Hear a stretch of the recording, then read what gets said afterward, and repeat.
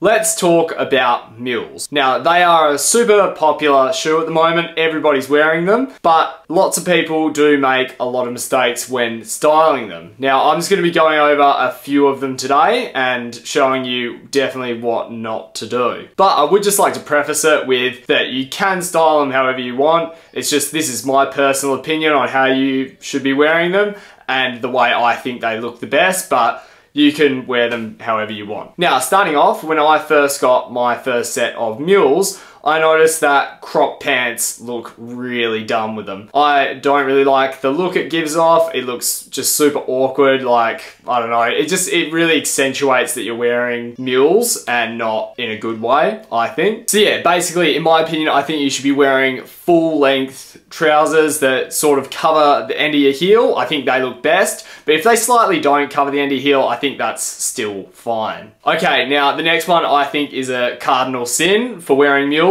not wearing socks. I think it just looks so weird and awkward. I don't like it. I think that you should always be wearing socks with mules my opinion. If you've got open-toed sandals, then hey, get those toes out. But I think that if you're wearing a covered-in mule, don't wear no socks. Always wear socks.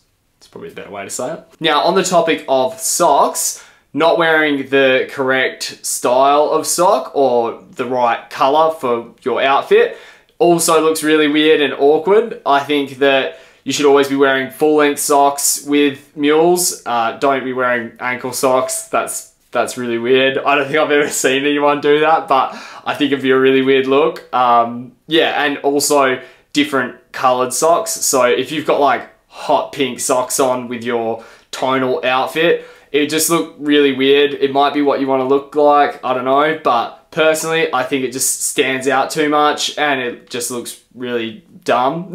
now, I am kind of guilty of this, uh, not wearing the right size mules. So I got an EU 43 with my mules, and usually I'm a 44, so it's only a portion smaller. But um, yeah, they are slightly too small.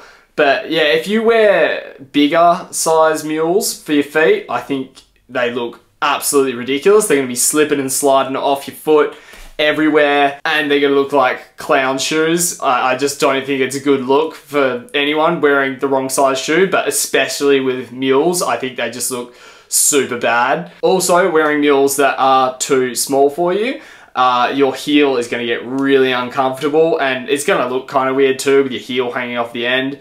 Uh, but yeah, it'll just, it'll be really sore because you'll be right on the edge and your heel's just going to be digging into it, you know? Now, another thing that you should never, ever wear with mules is shorts. Now, I, I don't think I've seen people do this, uh, especially with socks. I just think it would look really weird. I don't think mules are made for shorts. I mean, I am sure someone out there could probably style it and it would probably look good. Probably Daniel Simmons could do it or, or someone like that. But for me, I just can't picture a good scenario of wearing mules with shorts. I just think it looks really weird. I think if you're wearing shorts, wear open toe shoes with it or, or normal sneakers.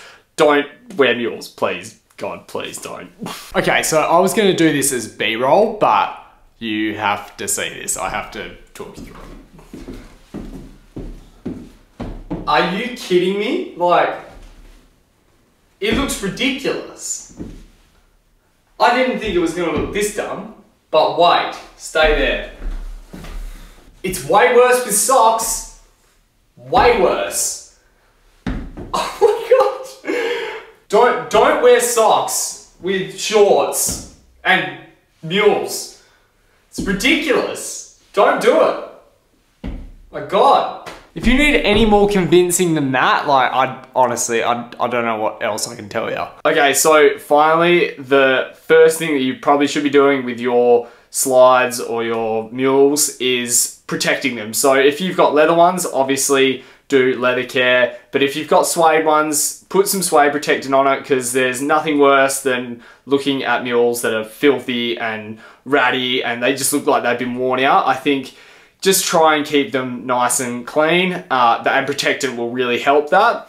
Uh, I've got a video out, a short, on how to protect your suede shoes. This works for all suede shoes, not just mules, but mine are specifically mules in that video. So yeah, if you want to check that out, I'll leave a link down in the description. Now with cleaning them, obviously leather, you can just wipe it right off or any other style of material that has been used. But with suede, obviously it's a little bit different and I will bring out a short showing you how to clean your suede. Now, if you've got a pair of mules and you might want to upgrade or get a different style, go check out this other video here where I compare Doc Martens Carlson's with Birkenstock Boston's. And I'll catch you next week with another video.